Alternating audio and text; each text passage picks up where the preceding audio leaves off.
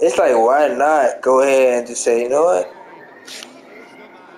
Yeah, man, why not, bro? Like, I'm tired of these females.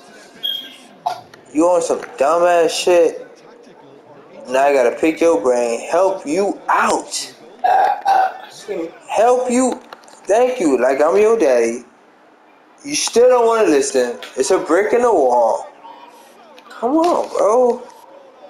Come on, man. Like, people in And I feel bad because us in America, it's a lot of good brothers out here. A lot of good sisters out here. We shouldn't have to go through that, bro.